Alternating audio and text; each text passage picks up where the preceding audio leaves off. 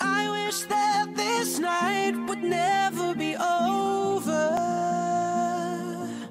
There's plenty of time to sleep when we die.